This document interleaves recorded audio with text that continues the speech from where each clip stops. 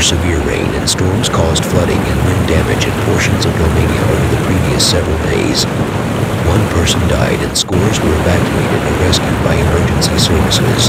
On July 19, 2021, the corpse of a man was discovered in a riverbed in Handresti, Iasi County, according to Romania's General Inspectorate for Emergency Situations. According to IGSU, the guy was presumably caught aback by the increasing rush of water as he attempted to cross the river as a result of the torrential rains that began on July 18.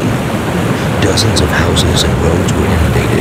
On July 20th, the IGSU stated that 60 persons were evacuated in Laristi, Arges County, and Aden Bustany, Crahova County. The day before, 14 people were rescued from six automobiles stuck in floodwater on a route between Durau in Neamt County in the Alba County town of Bistra. Evacuees were also taken away since July 15th. Alba County has been impacted by flooding